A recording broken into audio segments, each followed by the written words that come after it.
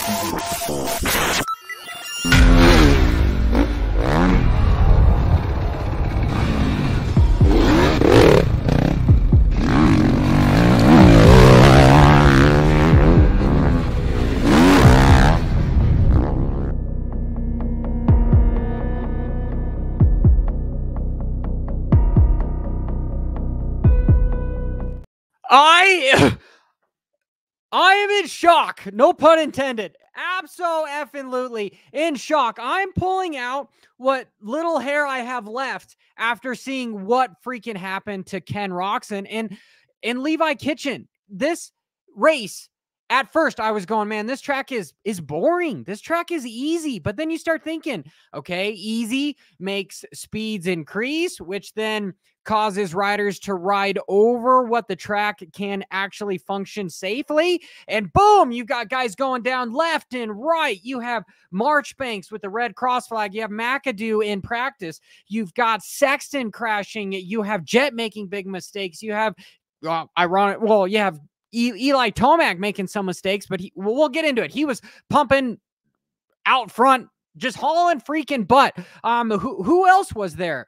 Gosh, Kitchen was down. There was so many guys that ended up falling down. This was the plague of Nashville. And man, let's just let's just look into it. Okay. Just boom, just straight away. Look at this freaking catastrophic event that happens to Ken Roczen with his bike, with the shock just blowing up. And then he is just what what is he supposed to do?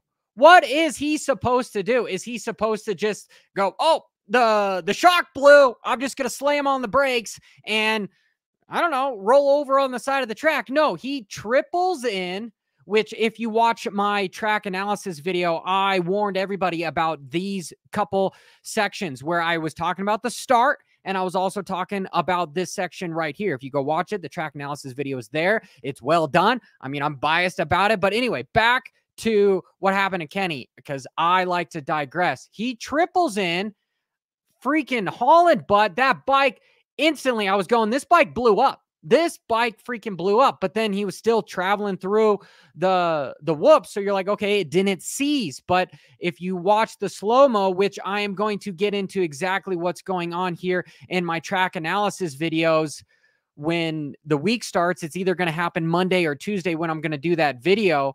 But this should never happen.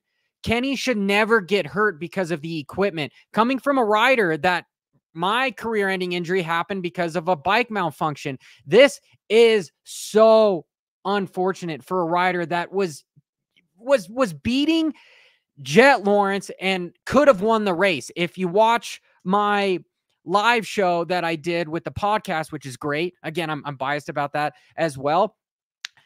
I said that Kenny was going to win. Kenny was going to win. It was either going to be Kenny or Sexton, and both of my picks went down. Ironically, Rob Beams, he was right about the podium where it was going to go Jett, Tomac, Webb. And dude, Jett made it happen. He absolutely made it happen. But Kenny, those first couple laps, he made the move on Jett. This track was a track that you could not override because of just how hard packed it was. The bike is slipping a bunch. It's less forgiving. The bikes may potentially be a little bit softer. And could this have been part of the reason as to why this bike exploded? Was because of the sheer fact that this is a giant lip that wasn't meant to be a triple. Truthfully, on the track map, I don't know why they added uh, another little roller into it. They changed it up a little bit in this section. This was supposed to be a triple, but ended up being a double. Again, Dirt Wurx did an amazing job because of the sheer fact that it was raining. They canceled press day. And that's another thing is these guys weren't able to bust out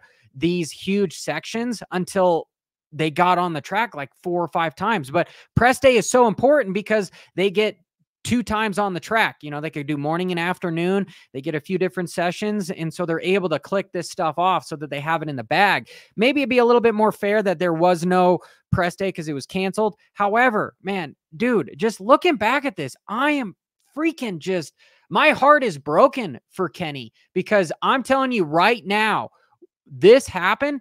What is the problem? The problem is ACL. He tore his ACL. Something is in there. It might even be a uh, plateau fracture um, with his tib and fib, but I'm, I'm pretty sure it's just the ligaments of the sw- the the stress on because of how he crashed, but I'm going to break it down in this week's video. Dude, but watch this. So he blows the shock, and then that bike just gives out on him. And what is he supposed to do? These whoops are huge.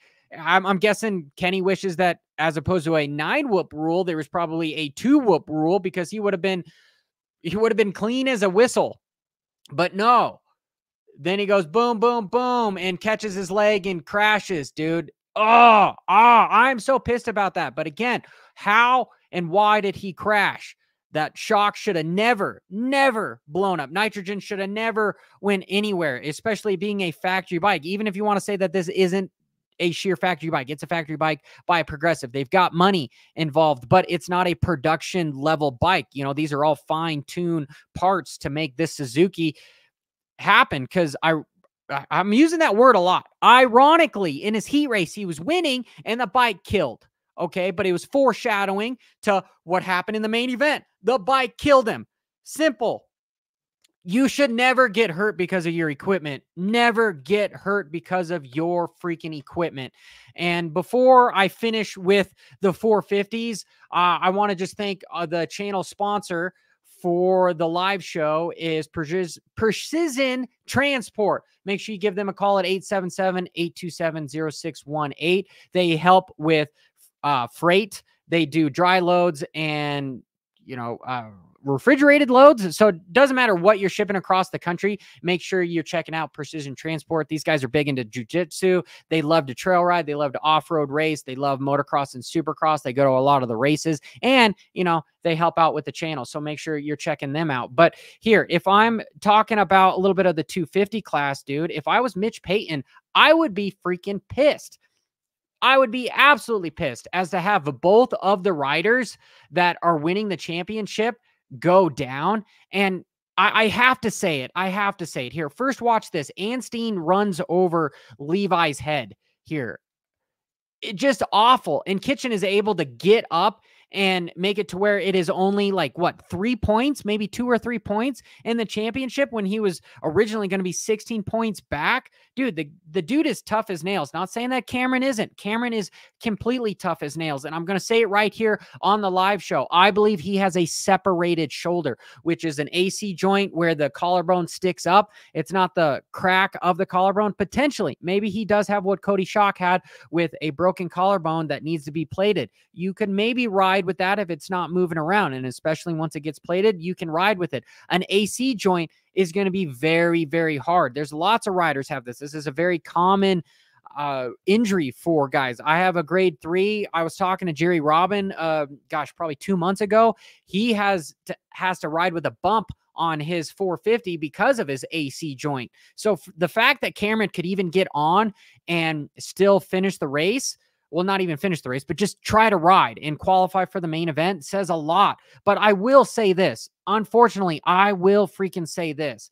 I still kind of think that this some of the stuff can be avoided here. Okay. What happened a few years ago? I believe it was Atlanta, uh, one of the outdoor supercross races that were at the speedways where there was a certain rider, Chris Blose, that ended up getting flight for life out of there because there was riders that were compromised being injured. Dude, this guy's the points lead. Like, I, I get it. I get it. Why is this sport just ah so it, injuries are just present always in this sport, but they're they're gladiators. They're going to go out there and fight to the death. But man, how is it that McAdoo just gets involved in some of this stuff? And this was really caused by McAdoo. You've got Levi on the outside. This section is four wide. Truthfully, on a supercross track, you should be able to do four wide on the track. But Levi jumps to the outside and he catches his and cross ruts or cross jumps into his teammate and it takes them both down. Well, it takes Levi down and then McAdoo ends up falling down at the top by getting taken out by other guys, though. But that's just so unfortunate. And it's it's ironic that I'm even saying stuff like this because if Levi was in that situation. I'm, I'm kind of applauding Levi because he got up and now he's so close to the championship battle because of him pushing through. Cameron is the same thing. Yes, it's a series of misfortune events. Nashville is a plague. It took out so many guys. Was it the track design? Sure, you could blame the track design a little bit on stuff. However, it was just the riders, the level of talent that the, these guys have. Why is it that you have Phil Nicoletti that is quitting after this? He, I'm so happy that he said on live television that, hey, I'm 35 years old. I'm scared of getting hurt. I, it's not a matter of, how bad it's going to be. It's a matter of when I'm going to get hurt because it just happens. His teammate, who's arguably faster than him, Marchbanks, got hurt in that first heat race. And is that going to be a pelvis deal? I mean, he was down the entire race before they red uh, red flagged it.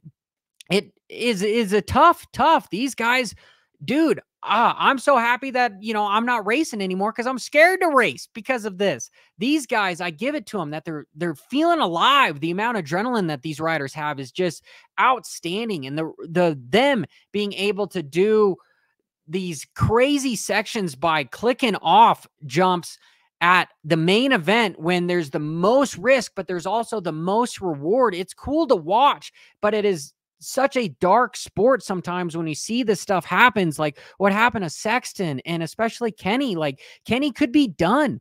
He's not going to race world supercross if he's got an ACL tear. Like he could potentially hold off but he's then compromised. His body's compromised and him being a mature individual I could see him just going hey I'm going to fix it and come back stronger than ever. And if we talk about back the 450s with freaking Eli Tomac dude the dude just Oh, I wanted to see beast mode so much for those last few laps to have him just catch up to Jett and take back what is his as far as I am the goat of Supercross.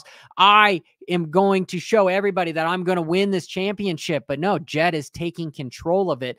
And Eli is doing everything he can possibly to hold on to it. The dude is at the top of his game. That just shows you the level of competition that is happening in both the 250 class and the 450 class.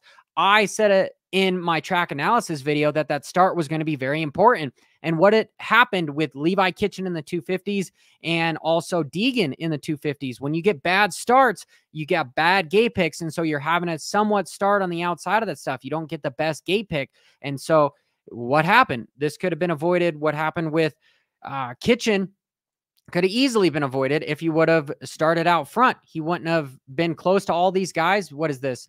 Um, eighth place or so. It's just just unfortunate, but that's part of the the scenario when it comes to racing dirt bikes is you got to do your best and take it as it comes and know when to fold them, know when to just have that elbow down. And so this was just bad situations between Cameron that ended up making it worse. Usually things kind of compound with stuff. And unfortunately, that's what had happened. As Carmichael alluded to on the broadcast, is that, you know, you don't win championships on your good days, you win them on your bad days. And this was definitely some bad days for a lot of riders. Most notably is Ken Roczen. Just going back to that, I just, I'm I'm I'm sure it is an ACL. I'm I'm sure, but you guys let me know. We're going to get some new information as the days go on whether or not he wants to actually share any of the information, but that shock should have never blown. Shock should have absolutely never blown. And maybe would it have been better if you could have jumped through it, but with that shock already blowing, he was just holding off. He probably knew exactly right at the uh, beginning of that triple on the landing probably heard poof right there. And then what do you do? You just keep a WFO and you hope for the best. And he almost made it out here. Look, he had like three whoops left. And speaking back about the 250 class, like I'm, I'm impressed with Tom, but really the thing that I see about what's going on with Tom Vialle and honestly Cooper Webb as to why they are so good in the championship right now has a lot to do with this nine whoop rule because jumping through them is faster. It's easier on the body. You can stay looser and you don't have weird mistakes happening. So uh, next year, I would like to see it go back to like 12 whoops or have it be two whoop sections, you know, that are uh, both over 10. I, I really think it would separate these guys a little bit because what happened with this track is the Dirt Wurx guys, they don't know exactly how their track is going to perform until you get the best riders in the world actually riding their track. But from my analysis and looking on it. And dude, I got, I got a, yeah, yeah, I do. Here, I'm gonna pick my nose on live. Oh, that wasn't even the right nostril. It's all backwards. Um, yeah, F it, right? That's that's just what it is. My hair, I'm pulling it out and I've got stuff in my nose. So I, I'm sorry, guys. But my point is, is from my analysis, is the track was easy. You're seeing these guys go double, double, step on, step off. It was easy. So it's forced for these guys to push a little bit harder to have lose traction here and there. And when that stuff calm pounds, well, now you have speeds that are riding over what the track is actually designed to do. Sometimes having gnarlier sections that make guys with their tails go in between their legs, it makes guys like Tomac and Jett even that much more special because they're able to still perform. Cooper Webb is one of those guys that highlights on some difficult tracks. Okay. So I'd like to see potentially tracks being a little bit more difficult. Just leave out the Dragonbacks. The Dragonbacks, yeah, we can all say Dragonbacks are bad, right? But when it comes to the nine whoop deal, I do believe that that rule should be changed. You have a lot of the riders talking up about it, but yeah, the the tracks have already been designed, they're already set up. So we got three more races to go, and we'll see what happens. But both classes are so so freaking close. Could I be wrong? with the separation on Cameron McAdoo with the AC. Yes, it could be a collarbone. You know, it could even be his scapula could be cracked too, right? There could be lots of different things. Just from what I see, how he landed, these guys don't wear really any shoulder protection. To me, it seems like that's a collarbone. With Kenny, looks to me like it's that ACL, which is bad because those things make it hard to ride. You don't want to stick your leg out. You get timid. And I want to see Kenny in outdoors. I want to see him in World Supercross. I want to see Kenny really off the Suzuki. I want to see him on a factory level bike, but not have the factory set rules and obligations. Let him do what he wants to do, be an independent contractor, but also still have the type of equipment that, like, Jett Lawrence has on that freaking Honda or that Star Yamaha. I'm not saying that that Suzuki is inferior equipment, but it is. There was two malfunctions to that bike that happened in his heat race. He lost because it died on him and he didn't have an electric start, right? You could easily say that, hey, um, is that thing even, is it carbureted or does it have main jets and pilot jets or is it fuel injected? I want to say it's still maybe, maybe the Suzuki is advanced enough to have at least fuel injection, maybe not an electric start, but God hopes I, I, I haven't, I haven't ridden one of those Suzukis in forever. And last time I rode it, it was still carbureted. So anyway, somebody let me know in the comments below how much of a silly dumbass that I am that I don't even know if that Suzuki is is I want to say it has to be freaking um doesn't have to be carbureted here but my point being is does he just have the idle way too low? But anyway that was a bike malfunction that happened in his heat race and then it killed him in the main effing event. Like, ugh, ugh. So, oh gosh, I almost dropped my liquid death here. This is not sponsored by, but man, I would sure love to be sponsored by these guys because this stuff is is like gold, man. Because you can be at a party being like me, you could be 33 years old and you know, you you just drink water. This stuff is freaking water. This stuff tastes like Sprite. And maybe I am hopped up on too much Costco cookies. Do you see these things? These things are almost gone. And because of freaking inflation, this sucker's 9.99. But you know what? I still buy it because I'm addicted to these things. Yes, I did love it when it was only seven bucks, but you know, freaking 10 bucks. If these things were 50 bucks, I would probably still buy it. Freaking crazy. Absolutely freaking crazy. But till next time, guys, make sure you are hitting that subscribe button and notification icon because I've got, I've got, I've got freaking notes out the wazoo here of everything that went down. And for the Patreon supporters, I'm going to upload it here in just a bit. In overview, okay? Monday and Tuesday, we're going to go over all this breakdown. Amazing race. I really thought that this track was going to be boring because how slow it was, but man, you put the best riders in the world on a easy track and they are going to make it sketchy. Wow, wow, wow, wow. You guys enjoy your weekend wherever you freaking are.